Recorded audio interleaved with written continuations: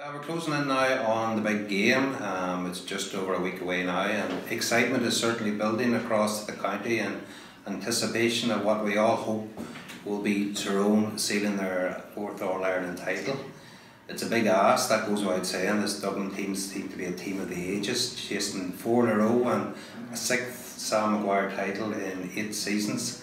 So they have certainly established something of a dynasty, and I think it's fair to say if Mickey Harte and the boys pull this off, this will probably be his biggest achievement and perhaps unquestionably the biggest achievement in the history of the county.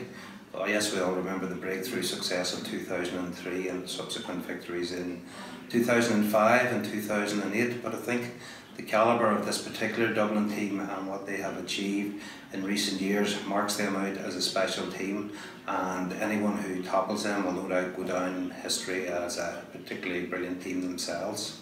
Um, tactically, Mickey and his backroom team have plenty to think about. Dublin um, put Tyrone ruthlessly to the sword in last year's All Ireland semi final, and while we closed the gap in the recent Super 8 game at Healy Park, there were still showed that day Dublin sort of cameo moments of class and composure. And again, we have to remember that they're back on what is effectively home soil in front of the Hill 16 hordes on Sunday week.